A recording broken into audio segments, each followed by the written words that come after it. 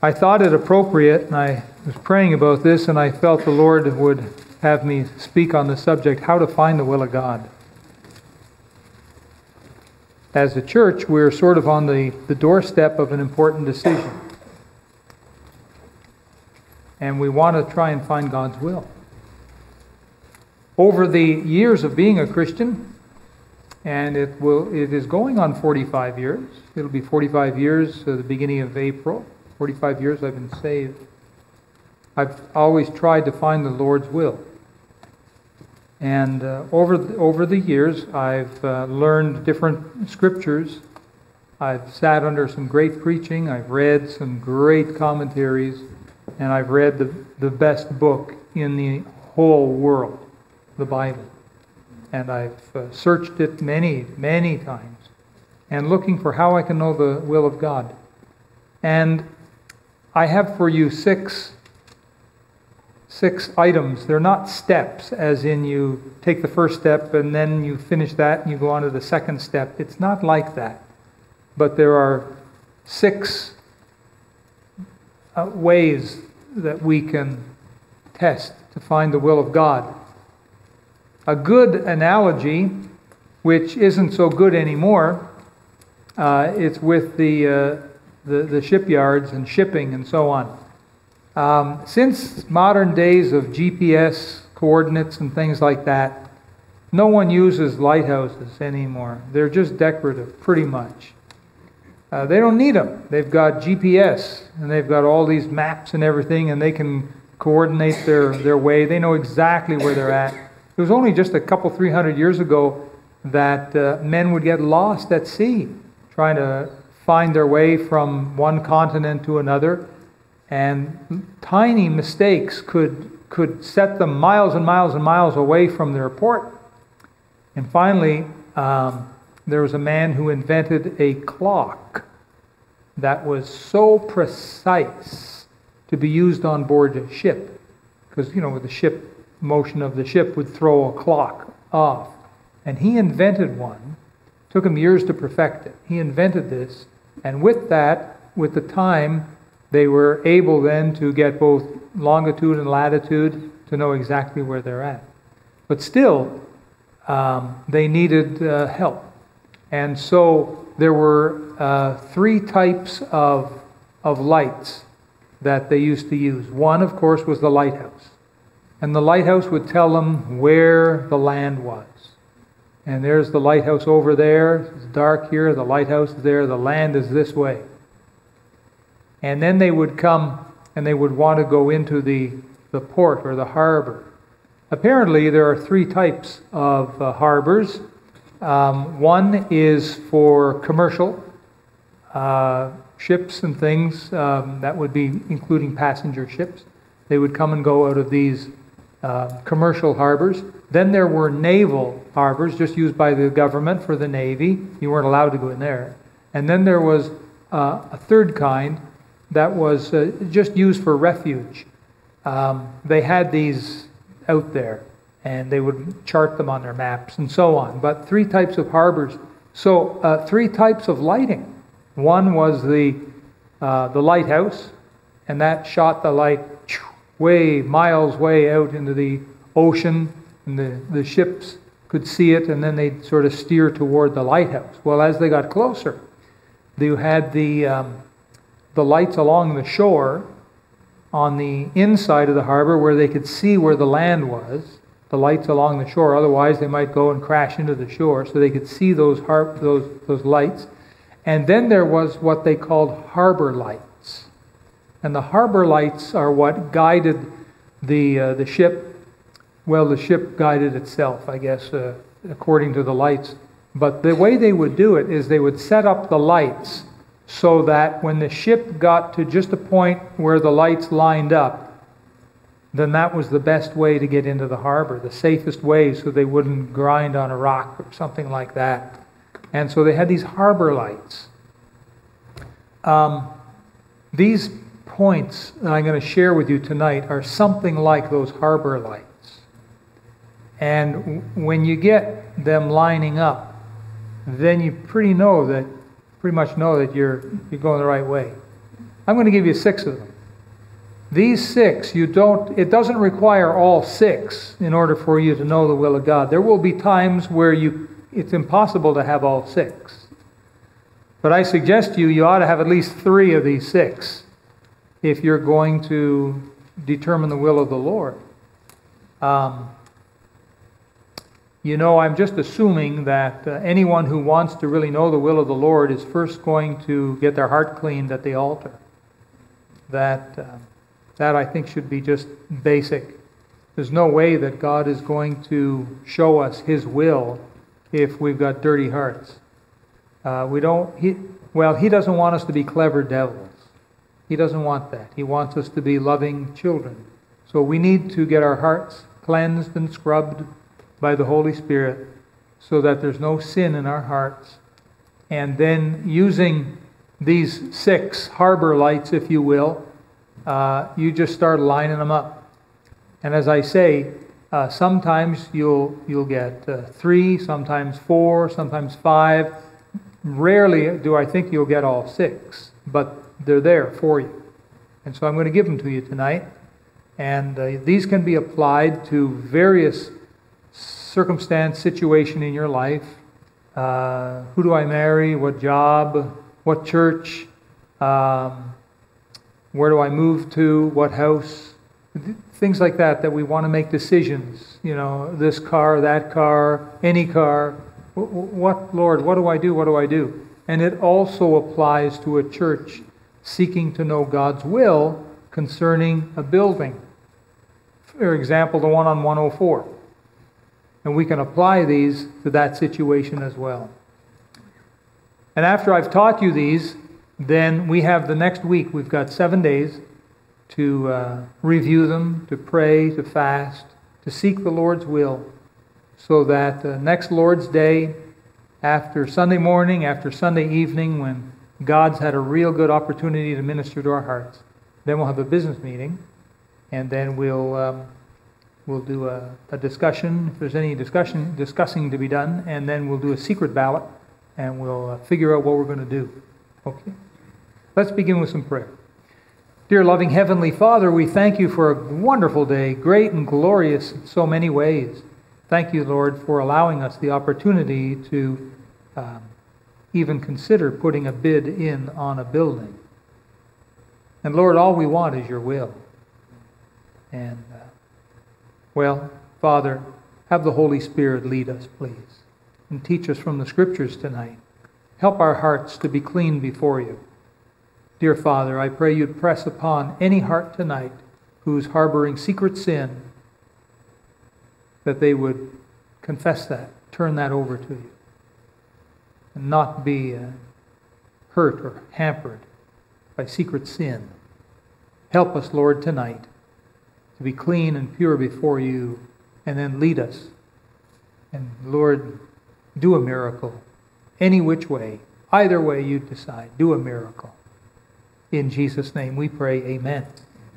Well, with your Bible open at Psalm 119, uh, the first point, and I think it, it's, it's very proper that it be the first point, uh, or the first area, is the Word of God. The Word of God. The Word of God. This one should always, always, always be on your list. The Word of God. And I'd like you to look at verse 105 Verse 105. Read it together with me out loud, please. Thy word is a lamp unto my feet and a light unto my path. And there you have it right there. It doesn't get plainer than that. That God's word will lead us and guide us. And there are so many things in the word of God. Uh, it's amazing. You say, well, what about uh, what car I'm going to buy? Uh, does it say what chapter and verse I should turn to to find out what car I should buy? No, it's not going to tell you if you should buy a Toyota or a General Motors or a Ford or, you know, an offshore product. It's not going to tell you if you should buy a brand new or a used, but there are verses in there that deal with principle. For example, going into debt. If you're considering buying a car, be, be careful about putting yourself under heavy debt. Um, there's other verses that are in there that uh, the Holy Spirit can make jump out at you And the Lord can apply verses to your heart. So it's very important that we be very much reading the Word of God and seeing what it has to say. Let's go to Proverbs chapter 6. Now, these points I'm going to give you tonight uh, all have scriptures attached to them, and so we'll be turning to several scriptures. Proverbs chapter 6.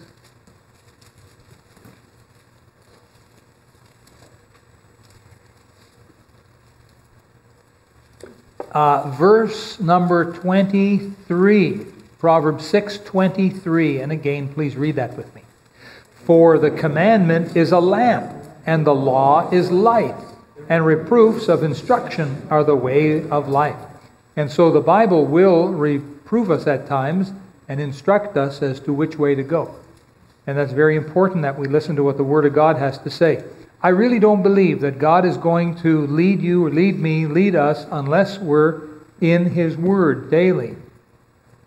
If you're wondering what the will of God is, well, should I marry this girl? Should I marry that guy? Should I take that job? And you do not read the Bible daily, God is under no obligation to show you what to do. He may let you on your own, and you can end up making mistakes all your life, and some people do. And Christian people, who just still, for some reason, refuse to read the Bible daily. And I mean more than just a flip, flip, flip, and let the finger, you know, fall where it may. Well, my verse for today is, ooh, kumquats, and what's this guy's name? And, uh, well, okay, that's it. Close. What is that? And uh, some people sort of read the Bible that way. That's a shame. The, the book of God ought to be read properly and, and with reverence and fear, and we ought to consume large portions of it. And if you just get a teeny little dribble of the Word of God here and a tiny little drip of an eyedropper there, you essentially have no right to go to Almighty God and ask Him what His will is. You, you have no ground to stand on. You need to plant your feet firmly on the Word of God. Point number one, or area number one, is the Word of God. And if you will plant your feet firmly on that book and you will pore over its pages day by day, then God is wanting to show you what to do because He is the master. He knows it all. I watched uh, an interesting YouTube, and um, the world's, I believe, current, I think he still is, the, the world's current Grand Master of chess is this guy named Magnuson. Magnus. Magnus? Magnuson. Anybody know? It's got an M in it. I think it's Magnus. Carl Magnus, I think. So he's just a young guy.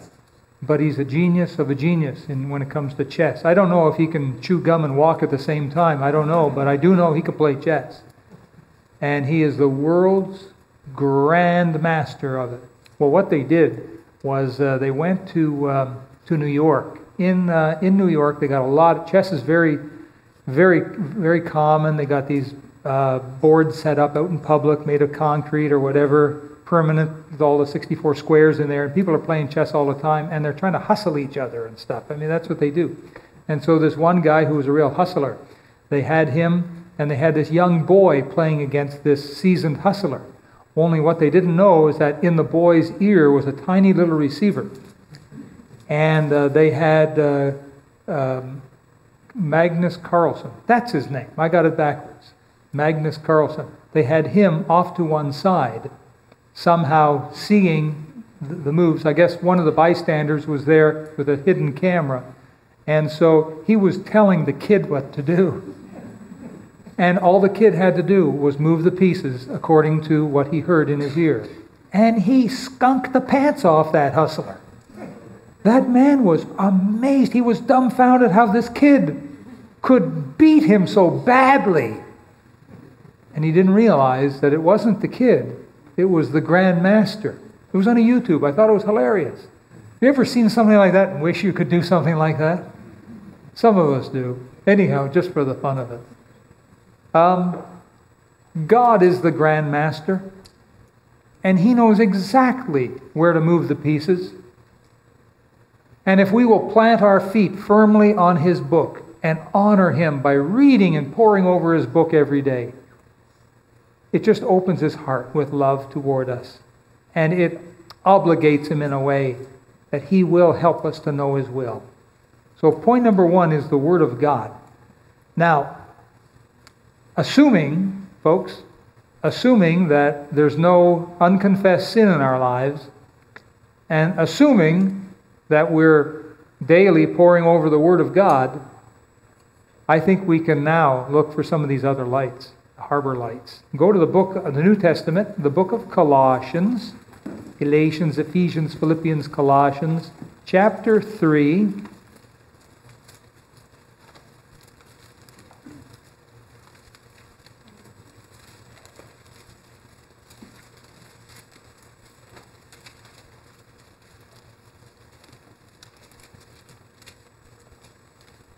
Colossians chapter 3, and I'll ask you to read with me verse number 15. Colossians 3:15, please read it now. And let the peace of God rule in your hearts, to the which also ye are called in one body, and be ye thankful. There's a lot of good truth in that one verse, but what I'd like you to notice is the peace. The peace of God. This is what we're looking for. It's produced by the Holy Spirit. The Holy Spirit can produce peace. It's one of the fruit of the Spirit love, joy, peace. It comes from the Holy Spirit. Jesus said, My peace I leave, I give unto you, he said. So the peace of God, let the peace of God, and the next word is rule in your hearts. Uh, many commentators have likened that unto a game of baseball and the umpire. And the umpire's word is final in the game of baseball. And when the umpire says safe, it means you're safe. And when the umpire says you're out, it means you're out. And so the idea is let the peace of God be like an umpire. So many Christians have gotten into so many problems because they were faced with two decisions, and this one looked better than this one, but they didn't have peace. They just kind of felt all maybe nervous, upset, unsettled, but they went for this one, and it blew up in their face. There was no peace. The peace of God is a gift of God. It's produced by the Holy Spirit in your heart, in my heart. And when we're living a life of unconfessed sin and we're planting our feet on God's holy word and we're praying, Lord, what should I do? I've got a decision. Do I do this? Do I do that? Or maybe you've got a decision of three. What do I do? What do I do? Which one is the right one? And as you pore over it and pray over it, it'll take a little time, usually, but God will give you a sensation of peace for which one to take. Many's a man has been spared a career, job career, by following the sense of peace. He's had this job he could take, he's had this job he could take. This one over here offered so much more money. This one here didn't offer quite as much money, but he had peace. As he prayed over it, he just, for some reason, he couldn't explain it, he felt more peaceful. So that's the one he went for. Turns out six months later, this one fell all apart and he would have been out on the street. That's a common occurrence. The Lord gives us peace for a reason. And this is so important here. This number two, we'll call it a point, but again, I'm not saying that you should do these in, in any particular order. Actually, maybe you should. Maybe you should make your heart's cleansed and your feet are planted, and then away we go. But the peace of God is very important. As we're praying, seeking God's will concerning the 104 building and concerning raising a million dollars, is there a sense of peace there? There's always going to be some kind of excitement over something new, and that's why it takes a little bit of time.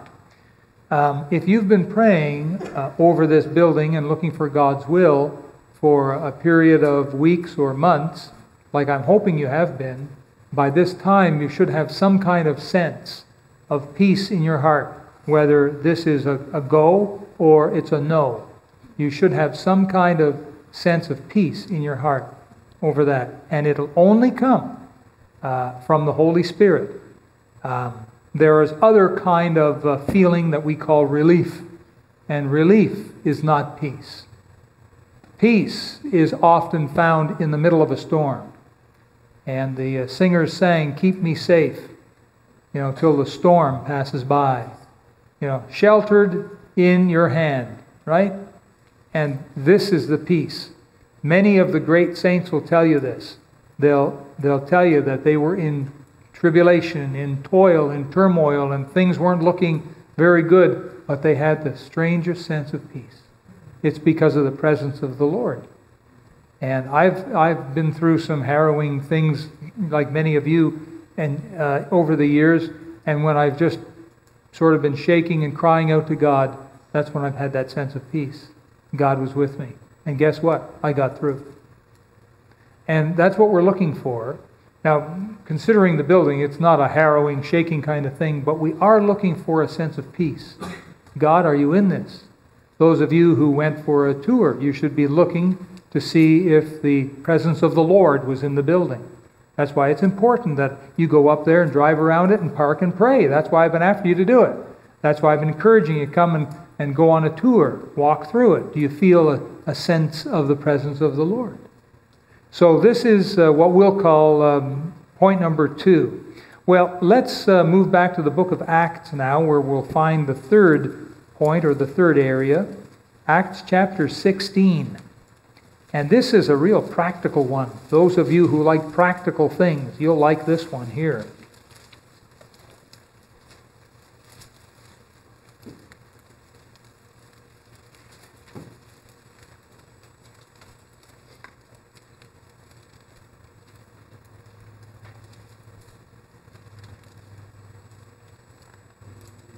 Now, let's see, we'll pick up the story and just follow along with me here. The Apostle Paul and his comrades are traveling, preaching the gospel, trying to win souls, trying to do the work of the Lord. And we'll pick up here in verse 6. Now, when they had gone throughout Phrygia and the region of Galatia, and were, look at this, forbidden of the Holy Ghost to preach the word in Asia, it looks like God closed that door for that, that period of time. And uh, after they were come to Mysia, they thought, okay, well, if, if Asia is not where God wants us, we'll, we'll go to Mysia. They essayed to go into Bithynia, but the Spirit suffered them not. No, that's not where I want you. They had no sense of peace. There was closed doors there. And uh, so they said, well, now what are we going to do? Now, some Christians might have thought, well, that's the end of the journey. Let's go back home and eat pizza and watch movies. But that's not what uh, they did um, it says, verse 8, and they passing by Mysia came down to Troas. And verse 9, and a vision appeared to Paul in the night. There stood a man of Macedonia and prayed him, saying, Come over into Macedonia and help us. Now, verse 10, and after he had seen the vision, immediately we endeavored, that Luke is the author of Acts, and so he was there with them. He includes himself. We endeavored to go into Macedonia. Now, watch these Next two words assuredly gathering that the Lord had called us for to preach the gospel unto them. Assuredly gathering. Gathering what? They gathered all the pieces of the puzzle together. This third point, this third area here is, is what we call circumstances. Step by step circumstances, where God guides your step here to there to here to there. And God will sometimes do that in a Christian's life and they they can't go here the only place they can go is there and they find out this is where god wanted them in the first place and paul just wanted to be where god wanted him to be. He just wanted to know god's will. And so when the door closed here and the door closed there well that's two pieces of the puzzle but where where? And then in the night he has a vision. Ah okay. He assuredly gathers. It, it's the idea of knitting together knitting something together. Now, I know our dear sister Janet is good with knitting. I've seen your knitting, Janet, and it's good. She's done it for many years, and she can do it with her eyes closed or something, but she's very good at it. And when you knit, you take the, the, uh, the wool, the yarn, and you somehow knit it. You weave it together somehow with those stick things, those sticky things. And uh, out comes a sweater or a sock, or you get the idea? The knitting taking those um, strands and knitting them together. And that's what Paul did here. He took the pieces of the puzzle and he knit them together. And he said, This is the will of God. And that's how God used it in that particular time. Now, sometimes circumstances will uh, both guide you or stop you to protect you. They say, The steps of a good man are ordered by the Lord. You remember that? And he delighteth in his way. Well, sometimes your steps, and sometimes it's your stops, as it was here. God stopped them from going here. God stopped them from going there. Has God ever stopped you from doing something? Maybe He did, and at the time you felt a little bit, you know, frustrated. Well, well why didn't this happen? Oh, I, maybe I should have used a stick of dynamite. I knew I should have used a stick of dynamite. No, you don't need dynamite. No. But when God stops, there's a reason for it. We used to have a couple attend the church, and he went home to heaven. She went off to another church.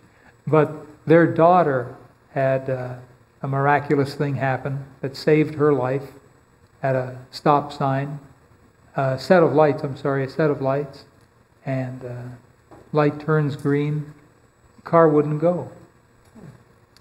And frustrating, she had to restart the car, and as she's doing it, whoosh, right through on a red light. That would have been her. T-bone, boom, dead. I've had a few things happen in my life where, you know, the Lord has done me a favor. you know, circumstance can be a good thing. But that's not the only thing. There's only one light. That's only one light on the harbor. You need more than one light. And so I told you about the lady we had in our church in Ottawa, and I'd, I, would i had been preaching against gambling, and she loved to go to her bingo. And bingo is just a, a nice little old way of gambling, okay? It's just a nice form of gambling, is all it is. And so uh, she came to me after a week and said, Pastor, I prayed about going to bingo. And I thought, that sounds good. She said, I prayed, Lord, if you don't want me to go to bingo, Please make sure I don't win when I go tonight. And, Pastor, I won. Nothing I said after that made any sense to her. She kept going to her bingo. You know, the devil sometimes is into circumstances too, isn't that right? So we have to uh, we have to be careful about circumstance, but it is a definite uh, light along uh, harbor light. Let's move on quickly to another one. And this would be number four, and we'll call this uh, others in authority. Others in authority. Now, usually God puts um, authorities into our lives, and He does that to protect us and to bless us and guide us. And we'll take a look um, back here at Proverbs 21.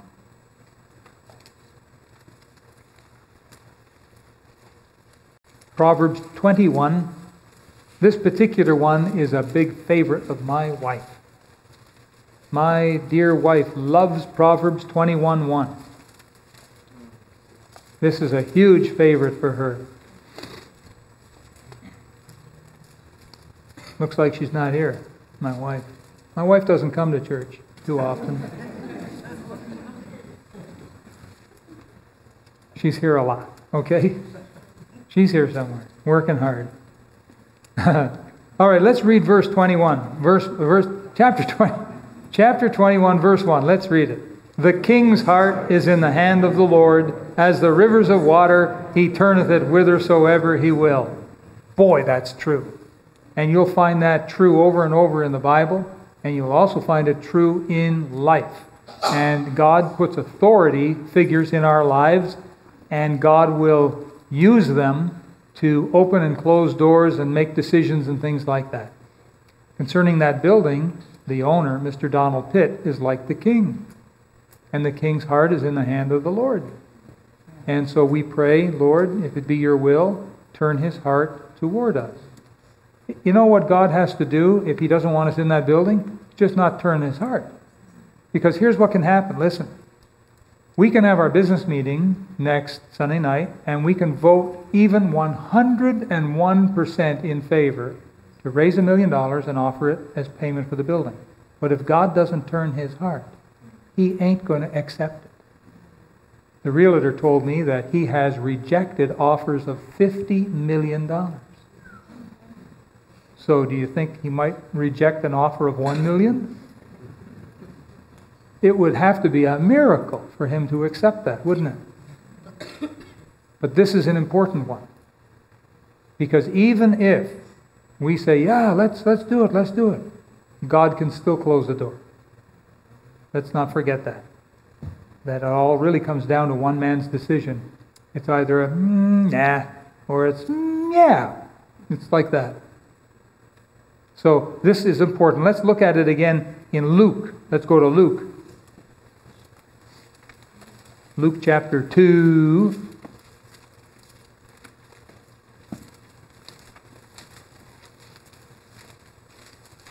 Here we are.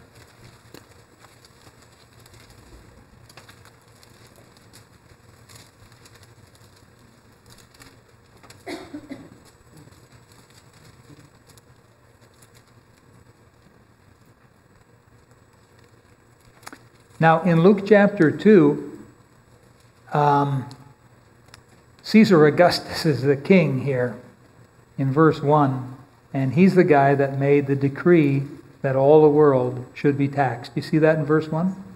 And it's because of that that it brought Joseph and Mary down to Bethlehem. And that's where the Savior was born.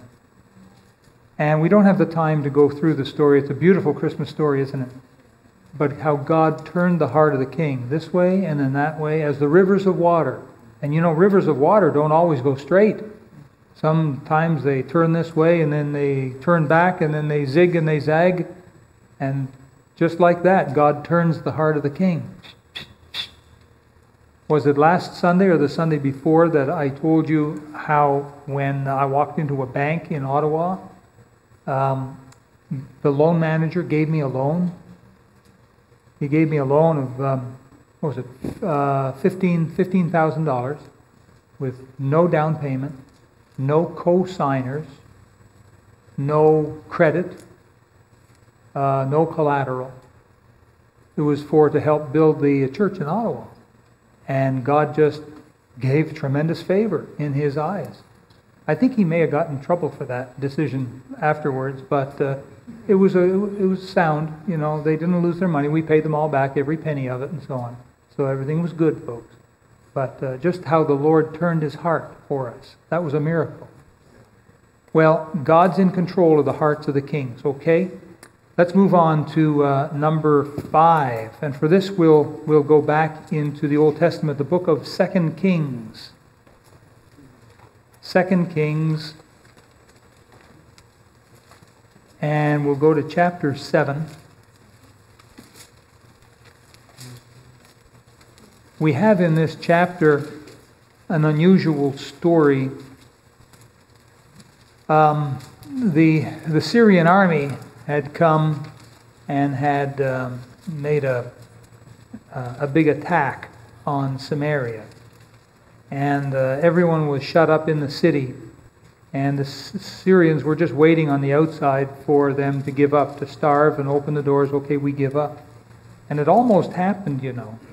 But uh, according to the word of the Lord through Elisha, you see at the chapter 7, verse 1, you have God's word on the matter. Through Elisha, God said, Thus saith the Lord, Tomorrow about this time shall a measure of fine flour be sold for a shekel, and two measures of barley for a shekel at, in the gate of Samaria. In other words, the economy was going to go back to normal. Right now, it was in a state of extreme emergency, and inflation was incredible. It's like when uh, there's a big panic on the, the gas at the pumps. Sometimes they raise the price, right? Well, in this case, it would be like you know a thousand dollars a liter for gas, kind of thing. It was just crazy. God says tomorrow about this time it's coming back down. What's it at now? Buck fifty, somewhere give or take. Buck, buck, whatever it is. It's too much, whatever it is, and it's going to come back down to normal. And so what happened in the night was uh, God caused the Syrian army to hear this noise, and they thought the Egyptians, you know, were coming. Um, they were going to get attacked here. So they up in the night and they took off. And so there were these lepers, and these poor guys, um, few lepers here, and they figured, well, we're outside the city, we're starving to death, and if we um, if we stay out here. Uh, we're, we're going to die of starvation. They won't let us in the city. So we may as well go and talk to the Syrians. And if they kill us, well, we were going to die anyhow. That was their philosophy. And so they figured they would do this. Um, and so when they got there to the camp of the Syrians, they found that the Syrians were all gone. And so they went in from tent to tent, and they, these lepers came out and they were eating and drinking, and they had silver and gold and apparel and everything. They just couldn't believe it. They thought they were dreaming. And then in verse 9, then they said one to another, We do not well. This day is a day of good tidings, and we hold our peace. If we tarry till the morning light, some mischief will come upon us. Now therefore come, that we may go and tell the king's household. And so what you have here is a unique opportunity. And sometimes that'll happen. A very unique opportunity. Now be careful of this one, because scam artists come at you with unique opportunities. But not every unique opportunity is a scam. You get an email from some Nigerian prince who claims that he has 7.5 million US dollars that he would like to give you so you can hold it for him till he can, you know, get to Canada and the two of you can invest it in uh, uh, the stock market or something. You have a scam.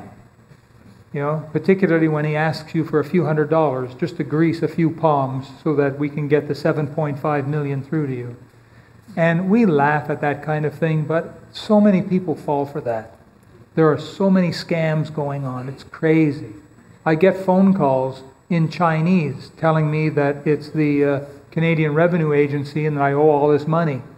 You say, How do you know that? Well, I recorded one. And I, I played it, uh, I think it was the Dawn because Dawn, she's pretty fluent in Chinese. I said, Can you tell me what this is? And she said, Yeah, that's what it is. It's a scam. Well, um, about a week ago, I got one in English. Oh boy, my first one in English. and it was a recorded call, someone with a Chinese accent trying to speak English. And it was a recorded call saying, This is the CRA, and you owe a lot of money, and we're going to send the police to get you if you don't pay it. Please press 1. Well, I waited. I didn't press, don't ever, ever press one. I waited. and uh, it hung up. Click.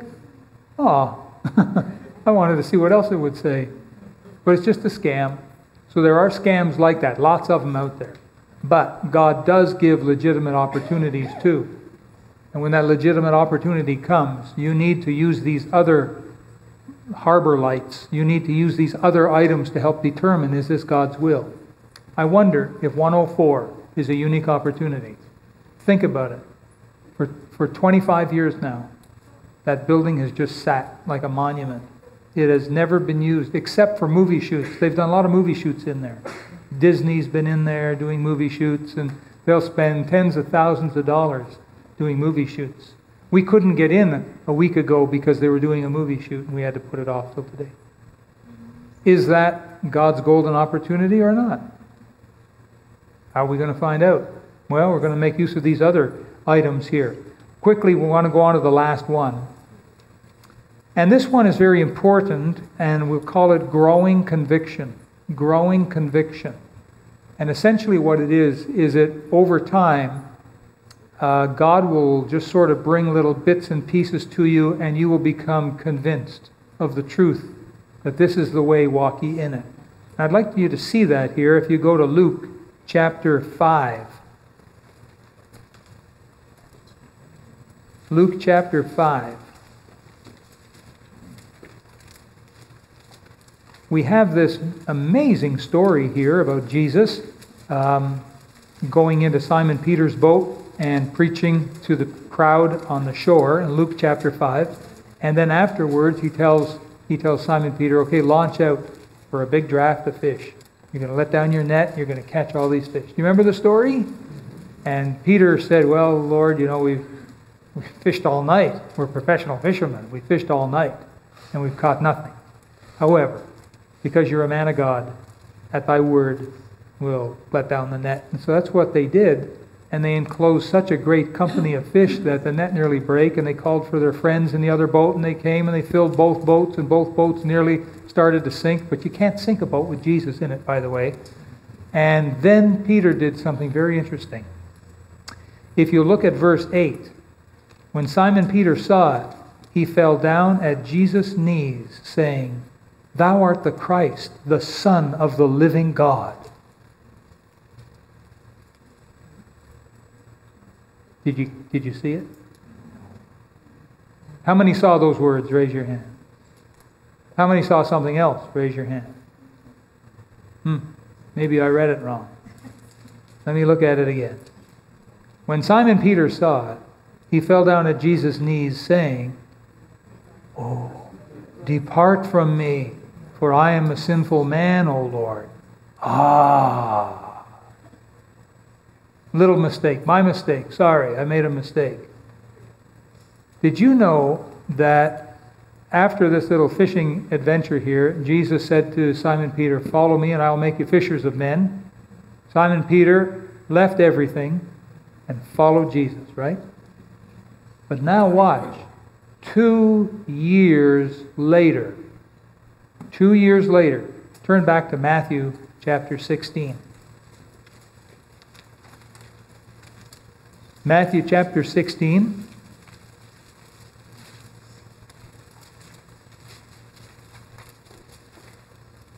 Simon Peter had been following Jesus for two years. For two years, Simon Peter had been listening to Jesus' sermons. For two years, Simon Peter had been listening to the, uh, to the parables, had been uh, watching Jesus uh, turn the water into wine, walk on the water, open the eyes of the blind, uh, open the ears of the deaf, raise the dead. For two years, Simon Peter had been watching all this stuff, taking it all in, taking it all in. And now, chapter 16 of Matthew, verse 13, when Jesus came into the coast of Caesarea Philippi, he asked his disciples, saying, Whom do men say that I, the Son of Man, am? And they said, Well, some say thou, thou art John the Baptist. He was dead recently, by the way. Some say Elias, and others Jeremias, or one of the prophets. Those guys were long time dead. He saith unto them, But whom say ye that I am? And Simon Peter answered and said, Depart from me, O Lord, for I am a sin. Oh, no, he didn't say that. This is two years later. Now, instead of saying, Depart from me, I'm a sinful man, now look at what Simon Peter says. Thou art the Christ, the Son of the living God. It took him two years to be able to say that. This sixth area, or harbor light, it's what we call growing conviction. Growing conviction. It comes a little more and a little more day after day, week after week, month after month, year after year. And that's the way she goes. Now, it all depends on how soon it is you have to make some sort of decision. If you have a year to make a decision, then it may take a year to get all the information in and get all these lights lined up.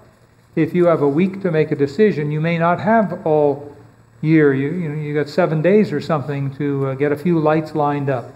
Hopefully, everyone has been thinking and praying and seeking God for these weeks because this is an important decision. You know, when two people want to get married, we kind of think it's a good idea to give it time, right? If they've just met, oh, we're getting married.